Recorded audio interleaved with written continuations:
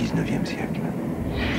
Dans un monde à la veille de changements révolutionnaires, une cité est en proie à la terreur. Vidoc.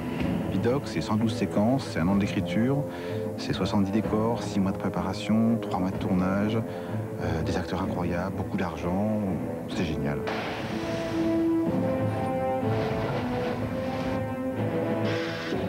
C'est à la fois un film qui est un effet spécial, mais c'est pas un film d'effets spéciaux.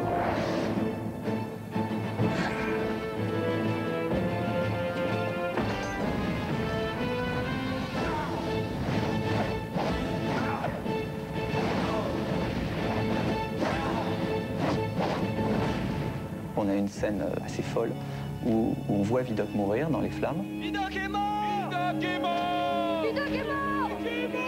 tout le film va être l'enquête sur la mort de Vidocq.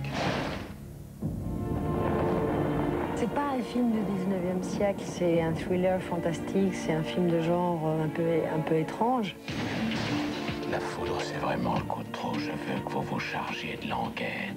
À mon avis, il est possible d'orienter la foudre, disons, sur une cible. On n'est pas uniquement dans l'effet spécial pour l'effet spécial. On n'est pas là pour impressionner visuellement le spectateur seulement. On lui raconte une histoire. Il y a des personnages et il y a des effets spéciaux. Voilà, c'est un, magnifique euh, alliage.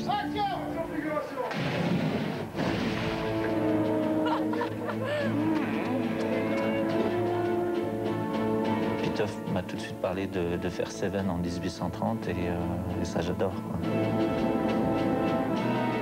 Seven, 1830, Gustave Moreau, voilà, c'est à partir du moment où on a quelques éléments comme ça, on sait qu'on peut aller très loin et on sait qu'il faut aller très loin.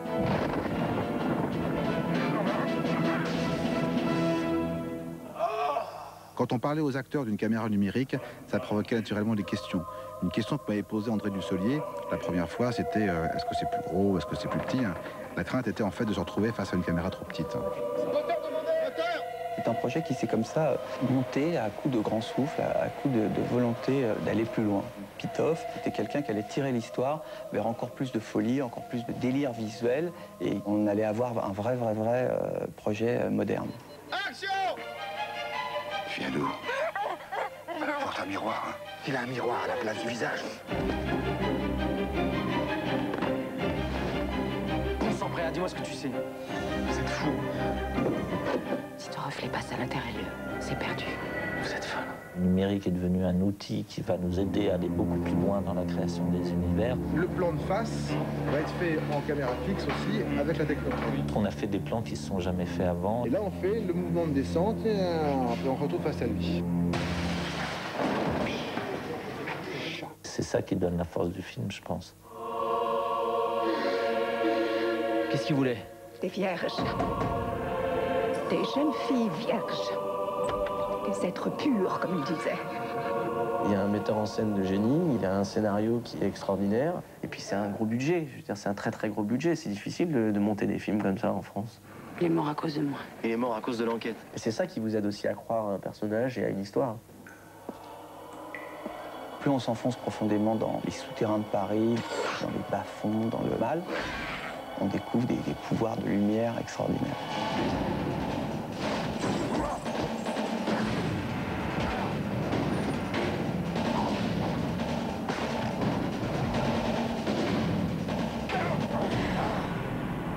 C'est vrai que les costumes, c'est comme le décor, c'est des gens qui ont un talent euh, magnifique. À Bordeaux, ils ont reconstitué deux rues entières où ils ont recouvert tous les immeubles d'espèces de, latex euh, pour vieillir l'immeuble. Ils ont caché toutes les canalisations, enfin toutes les, gouttières, les trucs, les poteaux électriques.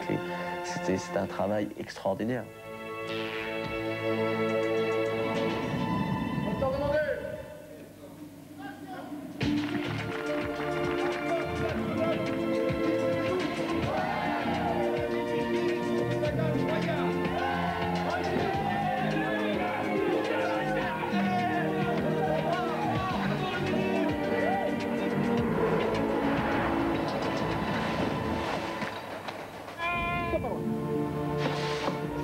Gérard avant le tournage, il m'a dit euh, Ouais, Vidocq, c'est un lion.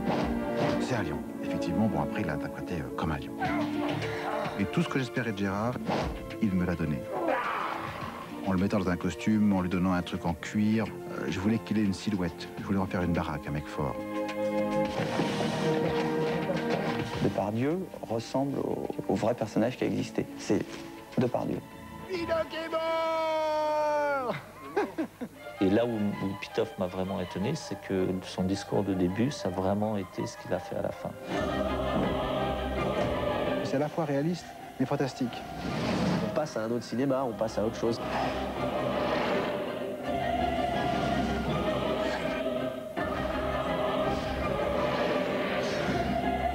Il a une vision tellement claire C'est exactement ce qu'il veut. qu'il connaît tous les métiers du cinéma, tous. Préparez-vous à découvrir Qu'est-ce qu'il t'a fait Qu'est-ce qu'il fait au fait un mystère Vous êtes simplement le mal propre à terrifier le cœur de chacun.